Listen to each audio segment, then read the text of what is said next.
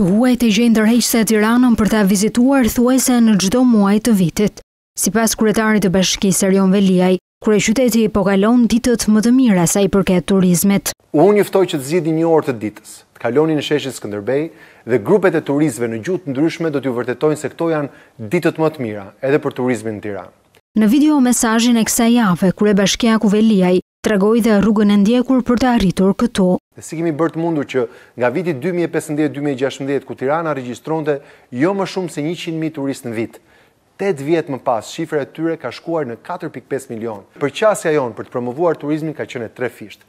Ne duam që të ruajmë identitetin historik, duke konservuar ndërtesa dhe hapësira të rëndësishme që realisht janë shpallur monumente të kulturës, ne duam t'i japim jetë ndërtesave dhe hapësirave historike, Dhe e treta, ne duam që të investojmë në krijimin e një Tirane edhe për të ardhmen. Ndërtimi i kullave, tha kryetari i bashkisë, bëri të mundur që markat më të njohura ndërkombëtare të hotelerisë dhe turizmit të vendoseshin në Tiranë. Unë nuk mund të lë pa përmendur një fakt të pakundërshtueshëm, ndërtesat e larta, këto që quhen kullat.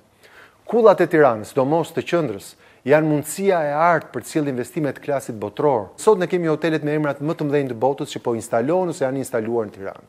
Hiltoni, Hajati, Melia, Mariot, Maritim, Interkontinental, të cilët jo vetëm e kanë plotësuar mungesën e shtretërve të Tiranës, por kanë sjellë punësim, kanë sjellë dhe dije, ajo që në zhargon quhet know-how për sektorin vendas. Turizmi sipas Veliajt është kthyer në një prej industrive të rëndësishme, jo vetëm për ekonominë e qytetit, por të gjithë Shqipërisë.